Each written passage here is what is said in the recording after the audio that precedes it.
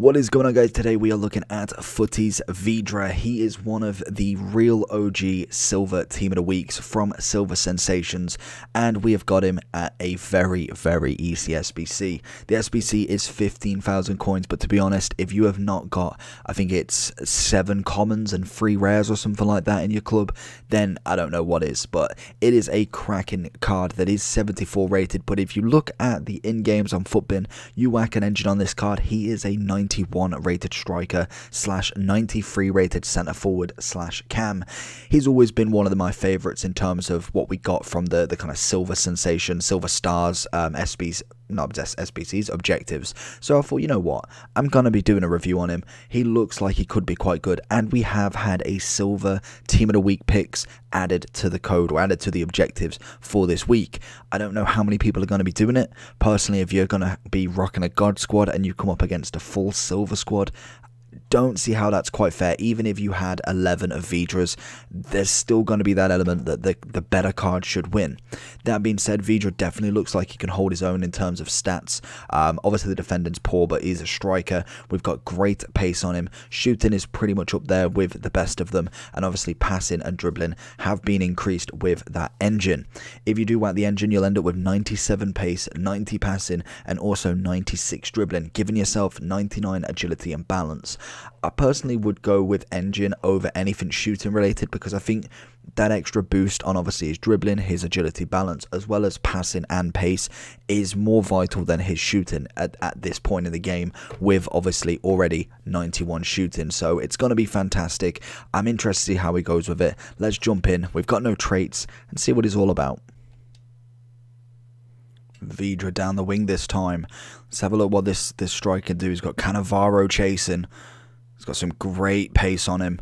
Obviously, the passing is not necessarily the greatest, even with the engine. He isn't necessarily going to be your passing striker. It's pretty poor from my part, just running straight at the defender. Into Vydra. He's going to look for Eusebio. Who's, that's a poor pass. It's the problem with these silvers. Sometimes, yes, the, the stats are increased, but they still have tendencies of, of maybe their kind of silver version, and not every stat is absolutely maxed out. So there's always going to be a hindrance in comparison to obviously someone who's already 95 rated or 94 rated. Vydra coming in and he's going to finish that with absolute ease. We've changed the formation for him to make a solo striker out of him and he's absolutely working it already. Four minutes in from the second half and he's already got himself his first goal. I feel like that's going to kind of force him to do a bit better and obviously have the support of three cams rather than kind of just having one striker with him. Vydra coming in back post gets the header slightly but doesn't manage to get any power on it to overpower this centre back there into Vydra. Roberto Carlos again doing his duties. Can we find Alessandrini with the goal? Just wide of the post. Vydra is going to go for the chip, and it is a beautiful lob over the keeper.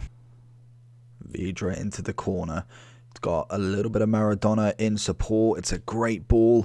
Knocks it into Matthias and wallops it into the bottom right. Finds a bit of Eusebio in.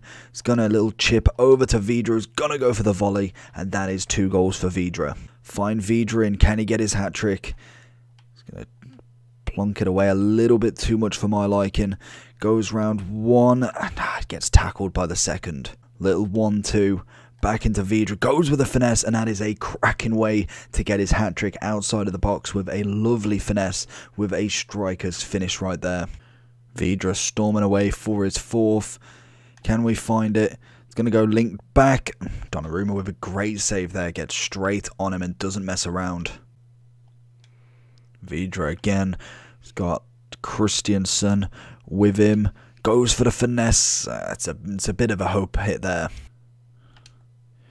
Vydra's all open for his fourth, and he buries it away with a lovely volley. Vydra with five, and he makes it another goal.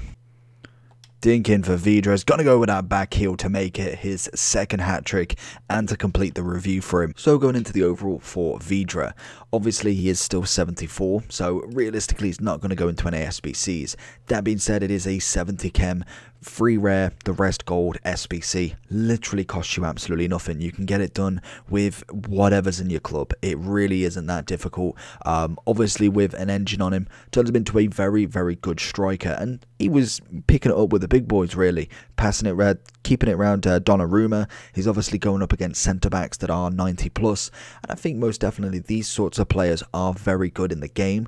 There is still tendencies from him that I think you can still see the signs of a little bit of silver in him, but most definitely a very juiced up card nonetheless. I think the one thing that I was kind of surprised is he does have 96 dribbling, but he does have that tendency to maybe not be as agile as I'd like him to be. I don't know if that's just naturally his animations, because obviously being a silver, he's going to have a more slower set of animations compared to your Neymars, your Mbappe's, someone who already is that type of rating but he has been a favourite. Um, obviously, this is the card that pretty much started it off. I don't know if he was actually the first Silver Stars or was this. Um, I think this probably was. That would be make sense for why he is the farewell SBC.